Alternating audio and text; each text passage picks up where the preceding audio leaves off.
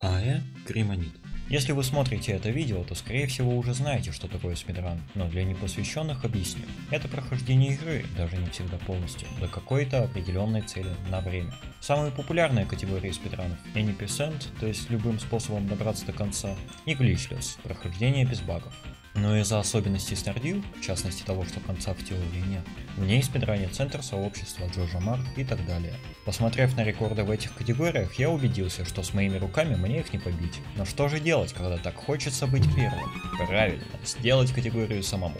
В этом мне помог мой опыт со стримов. Кстати, подписка доступна бесплатно. Где я пытался зарабатывать только на курицах, оптимизируя геймплей. Ко мне в голову пришел логичный вопрос.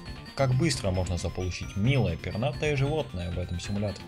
Сию категорию назвал просто Chicken Percent, и я даже не надеюсь, что она вообще получит одобрение на официальном сайте. Также сразу уточню, что на мою игру установлены моды, не влияющие на геймплей или спидран. А в качестве доказательства предоставлю оба видео по ссылке в описании. В этом видео я собственно и отвечаю на свои вопросы и показываю, как конкретно это сделать.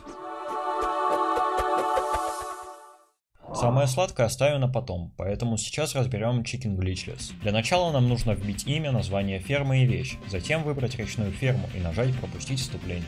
Забег начинается одновременно с кликом ОК. Также советую перед запуском рана просто сделать еще одну ферму, если вы только запустили игру. Дело во времени загрузки в мир. Если это первая загрузка, то она длится где-то 20-30 секунд, если нет, то примерно 7. Как только мы просыпаемся, надо взять семена пастернака в инвентарь. После этого идем потрачить в зарослях своей дачи, собирая ресурсы. Нам нужно 4000 золота, 300 древесины и 100 камней, чтобы построить птичник. Я потратил первые 50 палок на сундук, чтобы сложить туда вещи, которые заполняют инвентарь. На этом этапе вы можете выиграть пару секунд, если будете знать, что вам нужно сложить в сундук только лейку и мотыгу. Молодой кремонит этого не знал и судорожно двигал мышью, пытаясь понять, что от него требуется. Собственно, весь первый день мы тратим на добычу вышеупомянутых штучек, но так как энергии у нас мало, мы быстро отправляемся в кровать. Потенциальный способ сократить время – рубить клен, дуб и елки по очереди, чтобы сделать из их семян полевую закуску, которая восстанавливает энергию. Пока идем продавать недопастернак, можно нахапать всяких цветочков, что даст нам больше денег.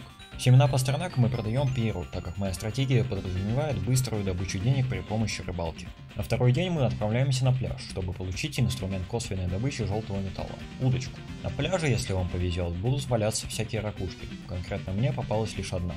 Этот день мы также тратим на добычу ресурсов. Рыбная ловля является самым быстрым и самым безопасным способом получить деньги. В качестве небезопасных есть лишь собирательство – побродить по карте в поиске растений. Шахты вообще не являются вариантом. На первых уровнях ваша добыча ограничится медной рудой, редкими аметистами и топазами, на пару с кварцем и земляными кристаллами. Другой возможностью, которую я не исследовал, является фермерство. Тут можно просто поливать растения и пропускать дни, чтобы это не влияло на таймер. Иногда из камней может выпасть желода, ее можно разбить и получить минерал, но не советую. Самый дорогой среди них стоит 150 монет. Учитывая раскалывание желода и путь до кузнеца, вы получаете 125 монет за большую потерю времени. Легче будет просто продать ее. Третий день также проходит за добычей дерева и камня. В четверг мы наконец-то прекращаем долбить твердую породу и приступаем к заработку денег, рыбалке. При создании персонажа я специально выбрал речную ферму, потому что на ней есть быстрый доступ к нормальному водоему. Как вариант есть еще ферма на пляже, но я не уверен насчет ценности морской рыбы. Водоемах есть уровни глубины, простыми словами, чем больше глубина, тем лучше рыба.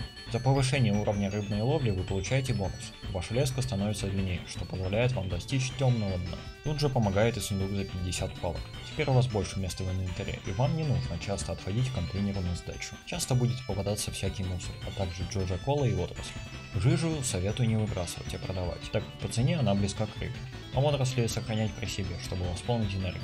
Ах да, следите за энергией, чтобы не получить переутомление, которое снизит ее восстановление. Бамбуковая удочка тратит 7-8 энергии, но чаще 8. Если все-таки поймали переутомление, советую лечь спать пораньше, чтобы энергия успела восстановиться полностью. На следующий день на ферму приходит Марвин с кошаком слэш собакиным. Быстрее всего будет ответить ей нет, но я взял кошака, потому что мне его стало жаль. Однако его наказание – дурацкое имя Мисса Флуфлу. Огромную роль в ране играют подводные сундуки. Их всегда стоит ловить, потому что даже если там одна единица древесины, трата времени несущественна, а даже простой уголь может повысить стоимость дня.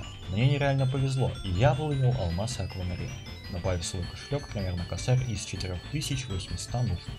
Откуда появились еще 800? Все просто, такова цена курицы. Но вообще в этой категории рандом может кинуть вам и радужный осколок в сундук. Так что мое время очевидно не идеально. В ясный субботний день мне наконец удается набрать достаточно денег на покупку птичника с курицей. Но я пропускаю дни до понедельника, не знаю зачем. Нет, правда, я не могу вспомнить. Если вы собрали нужную сумму лишь ко вторнику, то вам нужно проваляться еще день в кровати. Робин сегодня не работает. Я сразу отправился в столярную мастерскую, и из-за этого мне пришлось топтаться у двери до 9 часов. После покупки курятника мы галопом скачем домой и тряхнем еще три дня, чтобы курятник был достроен. И вот наступил судьбоносный день покупки курицы. Если для вас он настал понедельник или вторник, пропускайте до среды, потому что вы еще не успели на раньше автобус. До 9 часов советую расчистить дорогу между лесом и вашим домом, чтобы в последние секунды продвигаться с максимальной скоростью. В 9 часов мы штурмуем Марни, потому что она лучший персонаж в восьмом поколении покемон. И покупаем Торчика, что вводит нас на финальную прямую. Ну то есть кривую до курятника, где я потерял пару секунд на облизывание камней. Таймер завершается на поглаживании птенца, и мое финальное время 52 минуты минуты, 10 секунд и 59 миллисекунд. Для начала неплохо, но я не думаю, что продолжу спидранить эту категорию, так что удачи всем наследникам всего неблагодарного дела. Наконец-то можно использовать баги, что намного сократит время куриц. Для начала мы создаем персонажа с именем квадратная скобка 163 квадратная скобка, а в любимую вещь пишем свою настоящую любовь, что положительно влияет на рандом. Запускаем и сразу чистим местность для курятника, его ведь надо куда-то ставить. Прямо сейчас цель дождаться 9 часов, что даст нам нужный капитал. Тут и входит в игру имя персонажа. Я не могу технически объяснить, как это работает, но вписывая номера в квадратные скобки и заставляя игру сказать это, мы можем получить предметы. Например, тот же номер 163 – это рыба-легенда, которая дает 5000 монет на продажу, а 182 – большое яйцо. Для получения предмета нам надо заставить кого-то сказать имя персонажа. Самый быстрый вариант – Пьер и Кэролайн.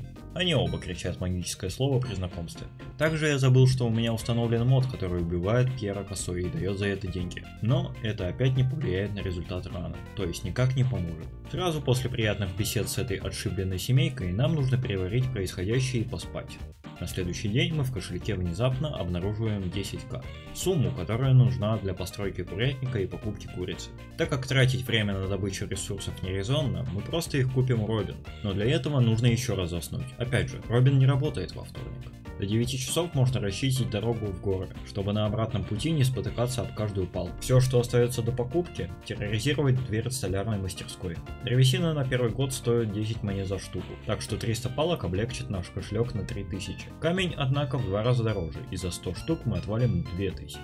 После покупки ресурсов строим курятник и идем спать до воскресенья. Пробудившись, нужно расчистить дорогу до леса, чтобы немного укоротить время. В 9 часов штурмуем Марни, покупаем наггетсы и бежим в курятник. Так я получил двуногое пернатое за 10 минут, 21 секунду и 80 миллисекунд. Да, эти попытки заняли у меня слишком много времени, но они лучше и больше мне не хочется это спидранить. Также это точно 100% является причиной, почему видео так долго нет. Я спидраню курочек. Зум, волк, дела.